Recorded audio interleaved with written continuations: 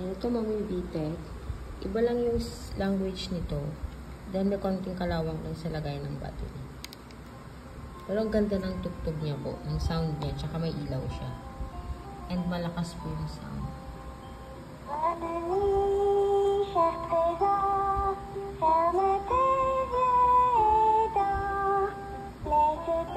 May part na need ng heels.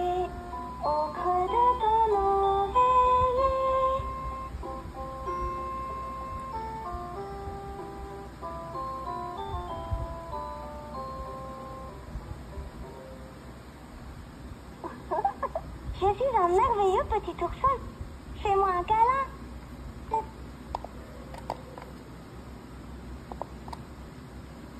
Triple A po yung battery nito. And natatanggal yung electronic wax niya.